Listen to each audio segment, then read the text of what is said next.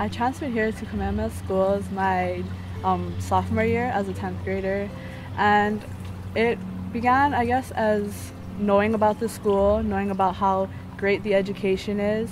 My parents always wanted me to try out for the school, but you know, I've never wanted to because I knew my friends, especially at Baldwin, and I didn't want to leave that feeling of being there. It's like my home already.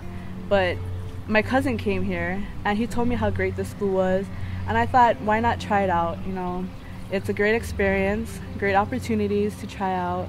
So I took that challenge and I it came to be good. I loved it. Yeah. When I came here, I was expecting not to be acknowledged by anyone, um, be by myself half the time, or most of the time actually. But come to find out, when I came to school, there were a lot of students that were willing to help me out and take me to my classes, show me around school.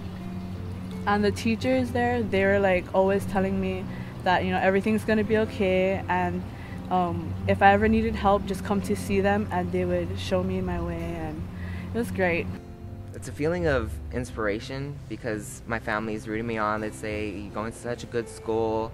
All my um, grandpa, grandmas and grandpas are, oh, they always ask me what school you going to, and I tell them Kamehameha is Maui, and they, oh, such a good school, such a um, a big, nice campus, and yeah, it's it's a nice campus, but it's not just about the the beauty aspect of it. It's the learning, the education, the teachers, the students we get to um, go to school with.